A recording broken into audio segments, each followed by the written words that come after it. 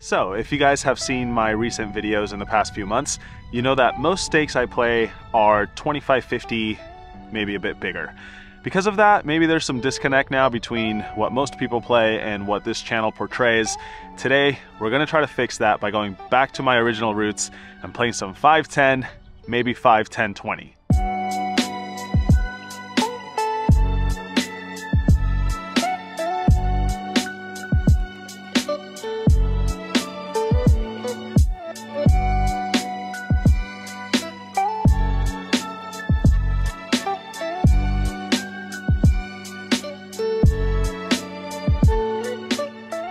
20. So today I'll be playing in a private game, which of course is at an undisclosed location, but it's a good group of guys. I've played this game a few times and it's always a ton of action. Not entirely sure how well I'll adjust to these more normal stakes. I'm hoping I'll be totally fine though, since I don't really think about the money aspect too much while I play. Before we jump into the hands, I want to remind you guys, in case you missed my last video, I'll be going to Austin, Texas next month, specifically Round Rock, which is the area that hosts the Lodge. They're having me back for their uh, relaunch of the live stream setup they have going on. Not entirely sure on the details. All I know is they asked me to come play on their stream once or twice, and I said, of course, why not? It's always a good time. Anyway, that's all I got for now. Let's head inside and play some cards.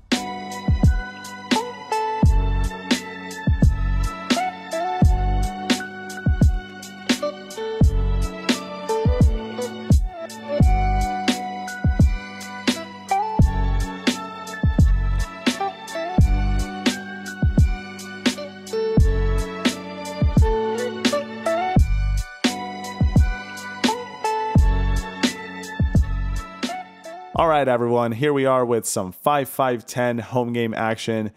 Buy-in structure for this game is $5,000 max, but it's a match the stack, meaning it's quite big for a 5-10. Anyway, I sit with 5,000, and in the first interesting hand, action folds to me on the button, and I've got an ace. So I make it $30 to go. Small blind folds, and then the big blind re-raises to 125. Now, my kicker is a 7, and it's not the same suit, so my hand is pretty trash. But I do think hands like these are good opportunities to occasionally get out of line pre-flop since we have removal to aces, ace king, ace queen, you know, the good stuff. And I'm going to do it this time. So I make it $280 to go. My opponent makes the call, which is probably the worst option. Would have been better if he went all in or just folded. Now we have to play a hand post flop with ace seven offsuit, and I guess that's the whole problem with these cards. Anyway, heads up to a flop of king, queen, jack with two spades. There's a bunch of face cards out there. I'm going to pretend I have something. So he checks, I bet 200, and he calls. Turn card is the king of clubs. He checks again, and what do I know? I'm just going to keep betting in hopes of getting a fold. This time the price is $250. My opponent doesn't have a ton behind, so I'd like to save some maybe potential all-ins on the river, or maybe just make it look like I'm going to go all in on the river, even though I might probably give up. Doesn't matter though, he folds this time and flashes the ace of hearts, so most likely we got a bluff through here. In the next hand, the straddle is on for $20. Someone opens to $55, and I'm looking down at pocket kings.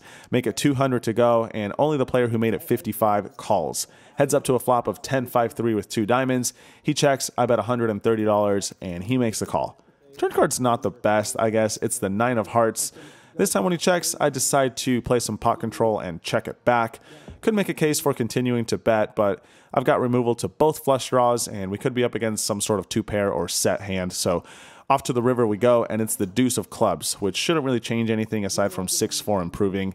This time he bets $700, which is the size of the pot, quite a big bet. All the draws missed except for 6-4, and he could be value betting a worse hand. So, of course, after checking back the turn, this is a pretty straightforward call. Unfortunately, this time we're up against 10-9 of clubs, which is top two pair. My single pair is not good enough to beat that. Nice hand. Next, I open to $30 with Ace Jack offsuit. Player on my left calls, and then the button makes it 175. Action gets back to me, and being out of position with Ace Jack unsuited is not ideal, so I think the best course of action here is to raise again, or maybe even fold sometimes, but for whatever reason, I'm not feeling too I guess, predatory among this group of players. It's a friendly game, so I decide to just call. Why not? And the player on my left calls as well. So we go three ways to a flop of ace, king, five with two spades. Action checks around, and we see the nine of spades on the turn, bringing in a potential flush. I do have the jack of spades, and what I think is most likely the best hand since the player who re-raised pre-flop probably would have continued betting if he had a flush draw, And the guy on my left, how often is he going to have a flush, really? So I decided to bet for value slash protection. $150 to go. Player on my left does call, and the button gets out of the way. So not entirely what I was anticipating, but that's fine. We go to a river, which is the Ace of Hearts. Interesting card as we improve to three of a kind. But what are we going to get value from? It seems unlikely he would play a king this way. What I think is most likely is he's got some sort of weak hand, maybe some sort of spade that does not improve. So I decide to check in hope of inducing a bluff, but my opponent checks it back right away. And somehow we end up losing to five deuce of spades. That's right, a turn flush that ends up checking back on the river, perhaps in fear of the dreaded check raise. When you bet a small flush, sometimes that does happen. So I guess I don't blame him. Good hand, man. Next, I am in the straddle of $20. Small blind opens to 80, big blind calls, and once again, I have a hand that should probably re-raise, but for reasons I just mentioned, I decide to uh, keep it chill and just call. We go three ways to a flop of ace, eight, five with two spades. Action checks around, and we see a nine of spades on the turn.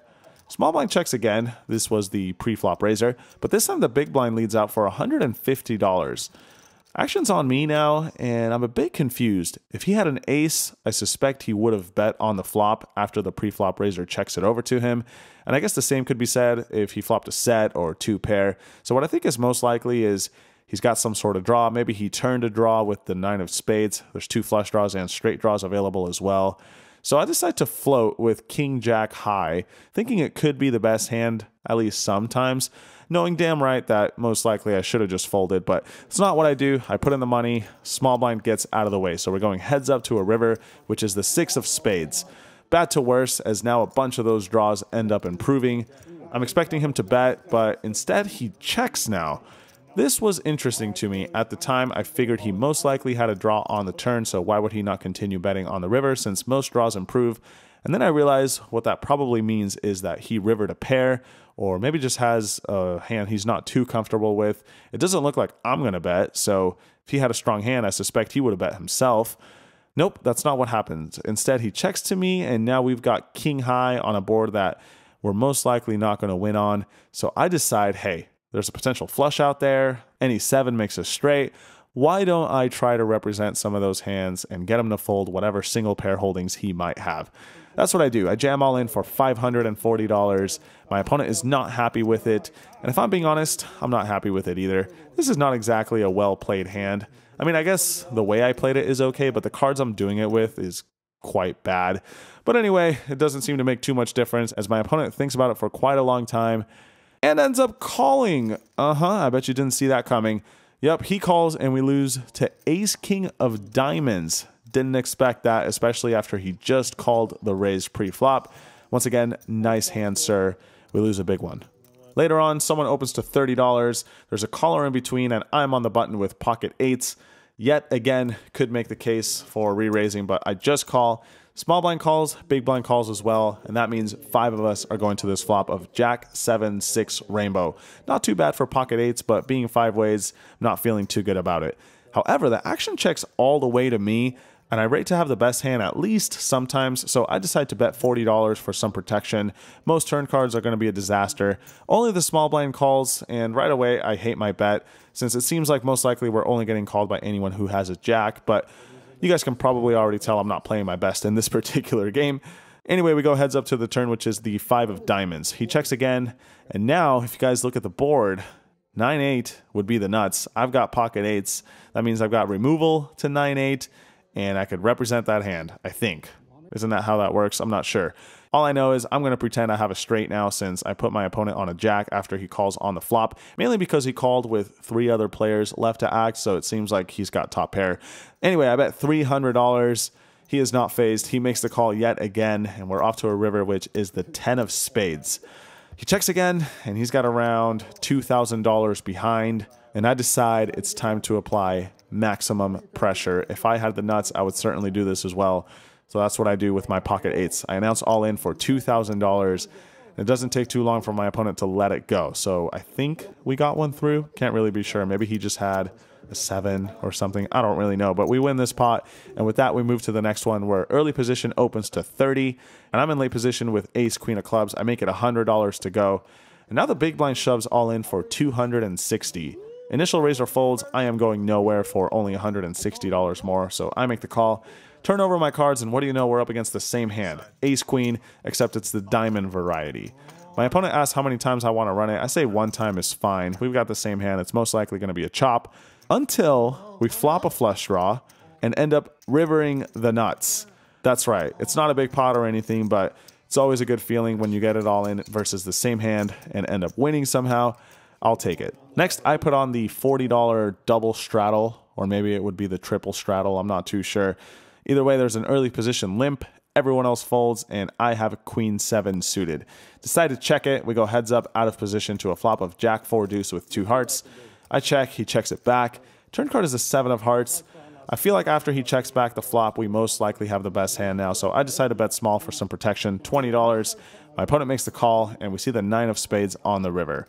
Not really sure if we have any value now, so I check. My opponent does not check. Instead, he bets $100. Not really sure what to make of this. If he had a jack or any sort of good hand, he probably would have bet on the flop. And if he had a good hand on the turn, like a flush, for example, he might have raised. So I don't really know what this means. And as you guys know, when I'm curious and I'm getting a good price, I tend to call. This time is no different. I toss in the money. And what do you know? We lose to 10 8 of diamonds. I guess that hand does make sense. A rivered straight. Very nice hand, sir. As you guys can tell, I'm not doing super hot, and at this point, someone else at the table's got a fairly big stack. So, since this is a match the stack game, I add on an additional $5,000 in for 10,000 now, but I'm stuck around 2 or 3k, I think. No worries, the game goes on, and this one the button opens to $30, and I'm in the small blind with Queen Jack off suit.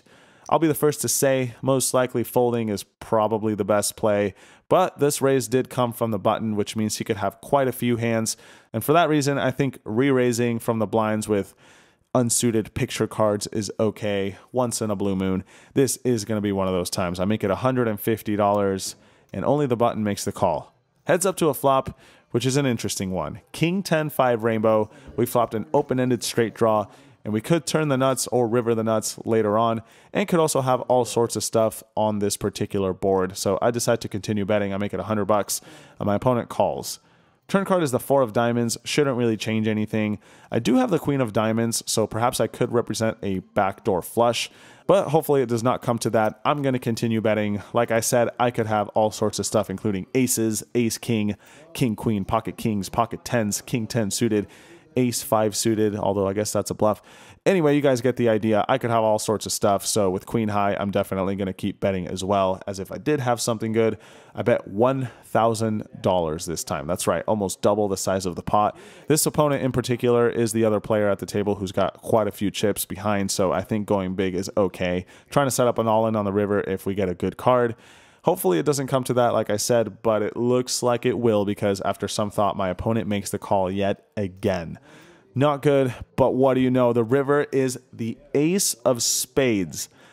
That's right. Out of nowhere, we end up making the best possible hand. And after my opponent calls such a big bet on the turn, it seems that he's at least going to have a decent holding. So the plan was always to go all in. Just because we river something doesn't change that. He's got around $3,400 behind around 150% the size of the pot.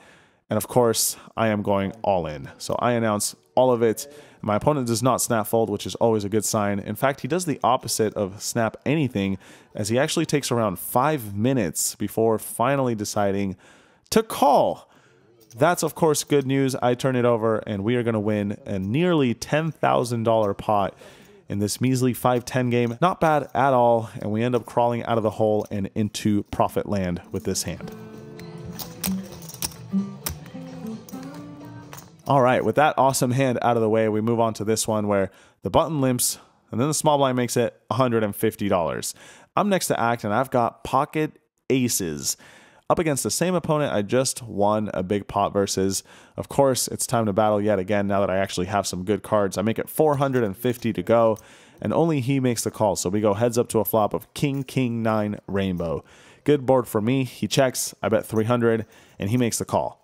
Turn card is the four of spades. He checks, and I think for the most part I should continue betting, but Sometimes checking over pairs on boards like these is a good idea, so that's what I do this time. Could induce some potential bluffs on the river or even some value bets from worse holdings. So off to a river we go, and it's a good one. The deuce of spades should change absolutely nothing, except this time my opponent leads out instead of checking. He bets $1,200.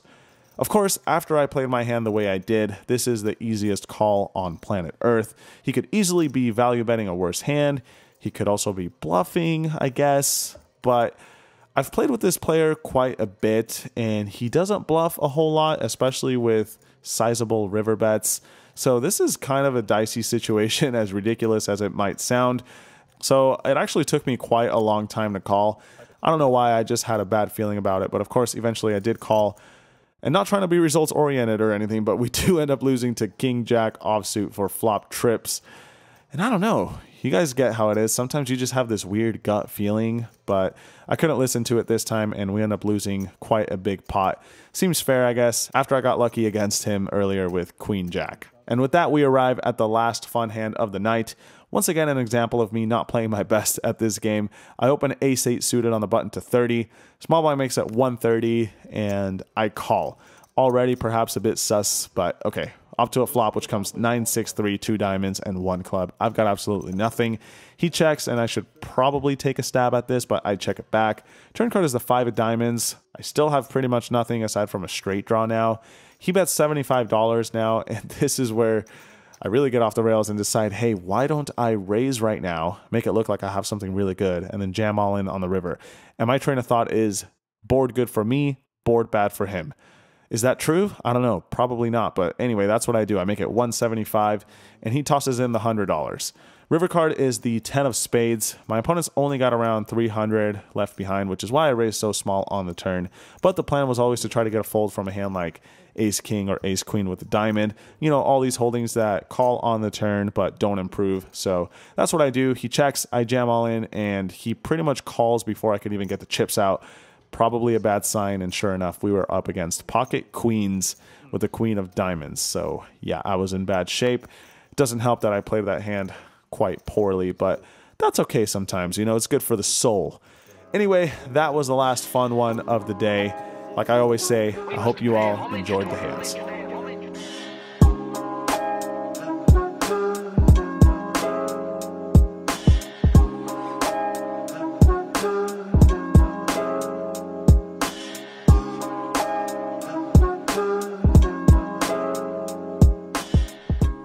So that brings an end to the 5, 10, 20 session. And I gotta say, I had a good time.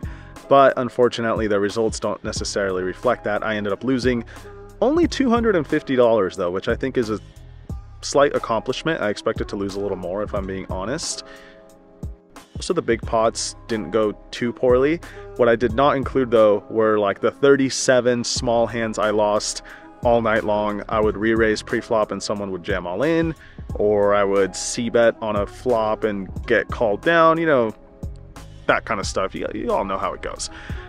So between that and losing a few medium-sized pots here and there, yeah, minus $250. Not gonna make or break the bank, so uh, that's okay. I'll live with it. Anyway, I hope you guys enjoyed the slightly smaller stakes today. More of a relatable session, I think. That's all I got for you guys today. See you all for the next one. And like I said, be on the lookout for those uh, lodge videos coming up in February. As always, thanks for all the support. Until next time, good luck at the tables. Peace.